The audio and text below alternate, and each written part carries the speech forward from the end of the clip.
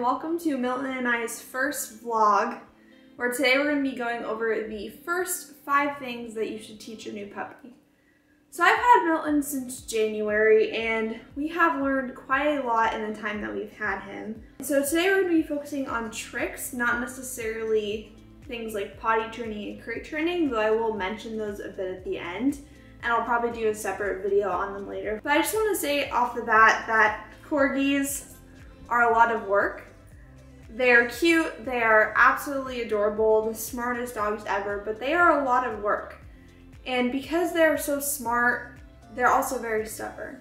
And if you don't train them right off the bat to do a lot of these important tricks, your life is gonna be a whole lot harder with the Corgi.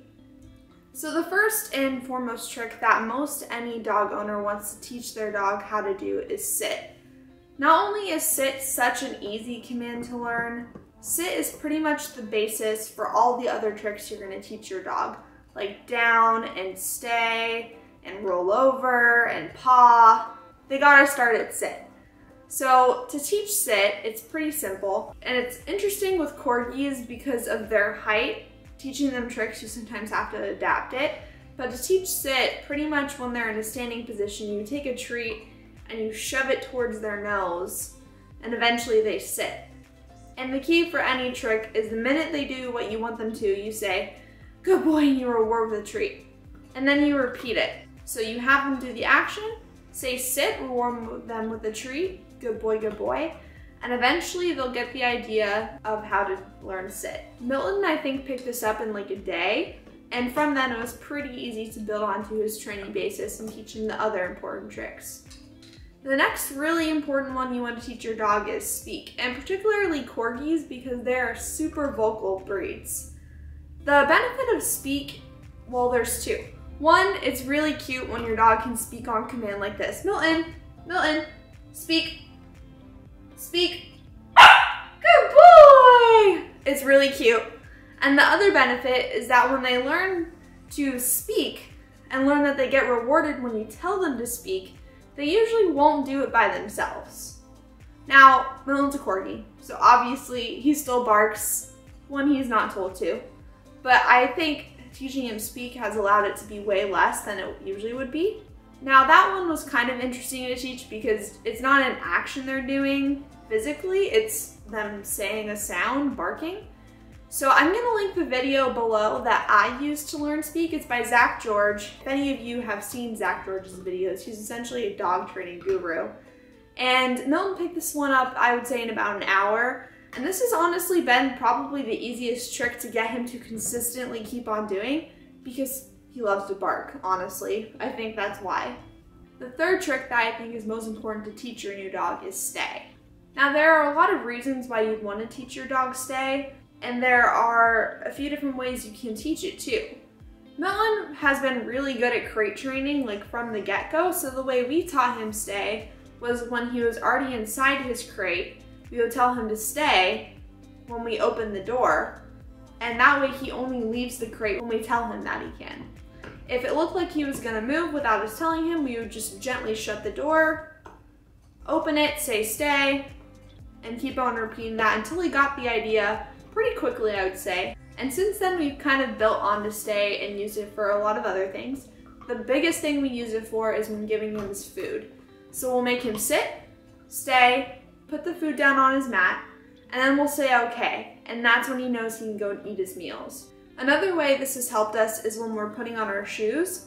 Milton still really likes to bite our shoes, so by teaching him stay, we know that he's not going to move from that spot when we're putting them on. Now, sometimes he will break it and still try and bite our shoes, but I found teaching him stay and having him stay when we're putting on our shoes really eliminates this a lot. The fourth trick that I think is super important to teach your dog is leave it.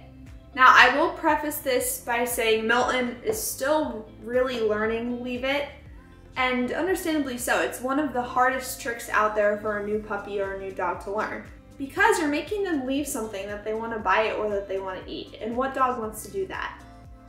So how you do this is you start small. You start with a treat. Because Milton and most dogs are really food motivated, so obviously if there's a piece of food on the floor, they want to eat it.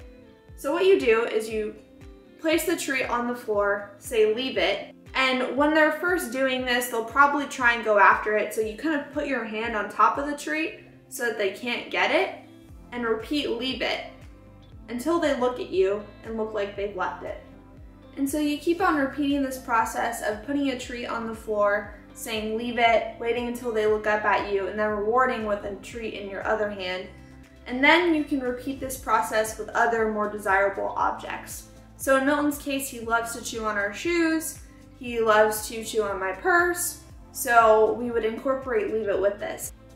And the point that we're trying to get him to that we haven't quite yet is that when you say leave it, you don't reward them until their energy is redirected into something else that they're supposed to be chewing on, like a toy. And the fifth and final trick that is really important to teach your new dog is to come.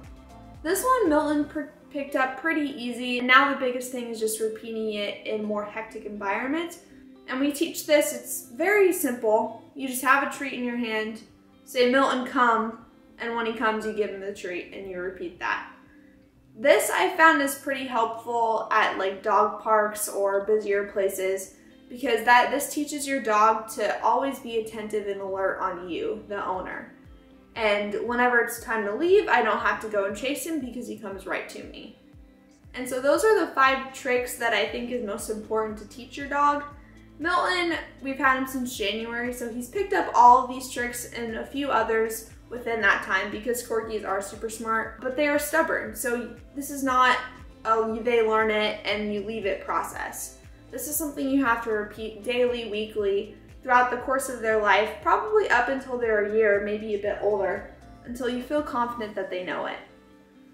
And I would be remiss if I didn't include mentions of potty training and crate training in this video because both of those were honestly so crucial into being able to train him to do a lot of these other tricks.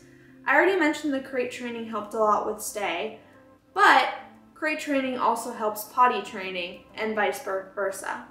You crate your dog when he's most vulnerable to go because usually they don't go in the same place they sleep. And by doing that, you can control his potty schedule in addition to controlling when you give him his meals, which is super crucial, especially for a puppy because they have small bladders that honestly they can't control. But I did want to mention it just to reiterate that you should be focusing on those two crucial concepts before incorporating a lot of fun tricks like paw or roll over or spin, which Milton does know, but we didn't teach him those until we knew he had a solid grasp of the other more important things, like sit, potty training, crate training, those things. And that is it for Milton and I's video on five things that you should teach your corgi puppy or your new dog. We hope that you guys found this helpful. If you have any tips of your own for how you've learned these tricks or others, feel free to leave them in the comments. And we'll see you in the next video. Say bye, Milton. Speak. Mm-hmm. Bye!